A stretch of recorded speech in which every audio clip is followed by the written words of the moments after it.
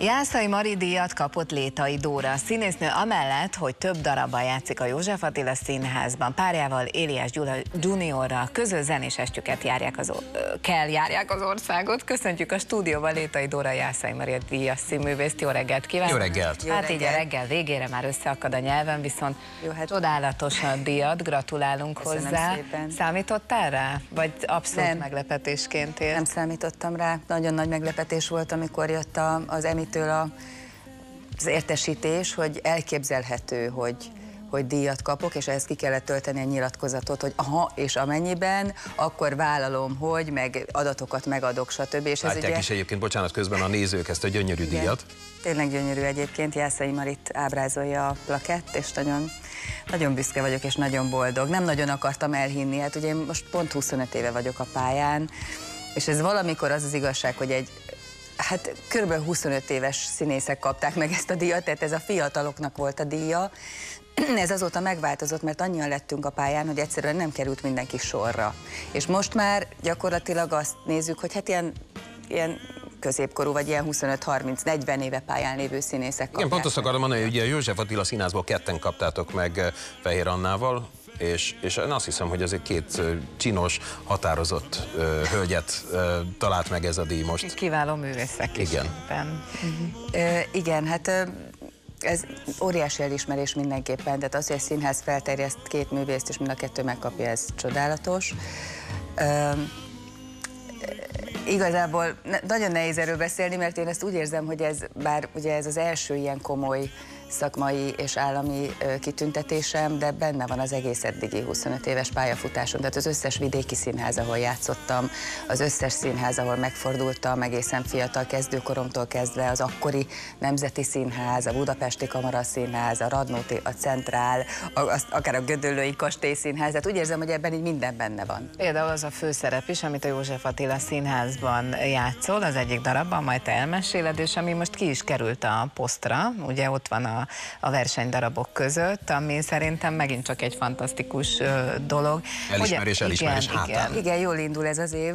Ugyan, készültök valami speckó módon a posztra, vagy, vagy nem igényel különösebb? De, ez, mind, ez mindig igényel felkészülést, mert ugye egy másik térben játszok az előadást, ugye a Pécsi Színház sokkal nagyobb, mint a József Attila, nagyobb a nézőtér és nagyobb a színpad is, tehát ez alkalmazkodni kell, nyilván el kell helyezni a díszletet, nekünk színészeknek be kell járni minden zugát, hogy el ne tévedjünk, nehogy a díszletelemek között ne találjuk meg a helyünket és ezen kívül is próbálunk és készülünk rá, hiszen ez júniusban lesz, és addig már csak két előadás van a Karenina Annából, ez Nagy András Karenina Annája, amelyet Telihai Péter rendezett, és hát ilyenkor nagyon oda kell tenni magunkat, mert mert előtte hetek telnek el, mielőtt lemegyünk a posztra, tehát nyilván készülünk testben, lélekben, szövegösszemondóval, és mentálisan is. Effektíve az, amit most említettél, hogy ugye a, a Pécsi színház az jóval nagyobb, mint a ti színházatok, akkor azt hogy tudjátok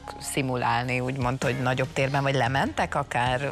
Lemegyünk előző este, és aznap van egy próbánk egész délelőtt, és délután ötkor fogjuk Pécset uh-huh. játszani június 6-án a Renina Annát, tehát hosszú menet lesz, de természetesen a legjobb formákat fogjuk hozni. Ebben biztos hogy pláne, most már ugye a díjjal hátad meg, viszont azt is valljuk be, hogy közben, és ezt hallják is a, a nézők, hogy valami más produkcióval is, is hirtelen feltűntél, ami, ami Bevallom őszintén így a nevet kapcsán ez kicsit szokatlan volt, de hát amiután megjelent az életedben Gyula, én azt hiszem, hogy ez így most már ez logikusnak tűnt. Mármint, hogy a zenei vizekre Igen, zenei.